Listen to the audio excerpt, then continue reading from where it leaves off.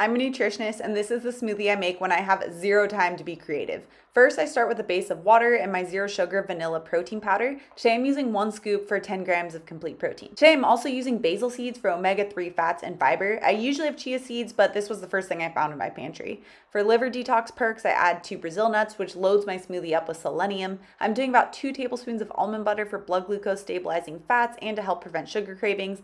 Then I add another half cup of Greek yogurt for 10 more grams of complete protein.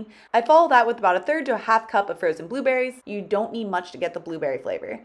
I blend it up and top it with some bee pollen. The whole meal takes about three minutes to make and it is loaded with nutrients and tastes great.